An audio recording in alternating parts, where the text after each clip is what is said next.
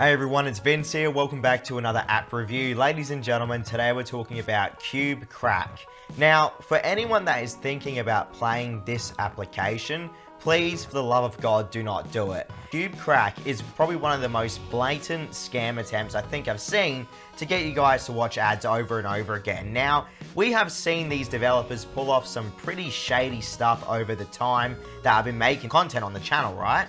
But when it comes down to it, this is probably one of the dumbest attempts to get you guys to really waste your time.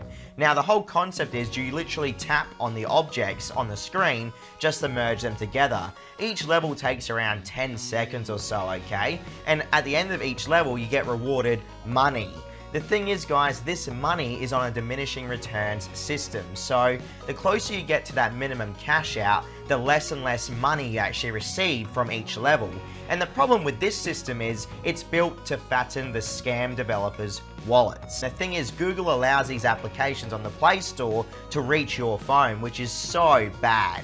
Honestly, it's a terrible system. These developers are out there stealing people's videos, putting it in their ads, including myself. They have no morals, no respect, not a care in the world. But the worst thing about all of this is that they don't even pay.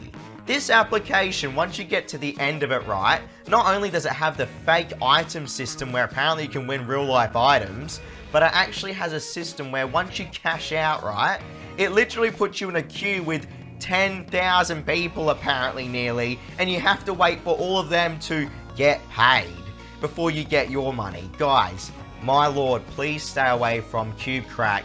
It looks like another massive scam and I spent two hours getting you this footage. This app is pathetically bad. That's my warning for you all. Let me know in the comments what you think, but I guarantee you'll agree with me. Stay safe out there. I'll catch you all in the next app review tomorrow. See you next time.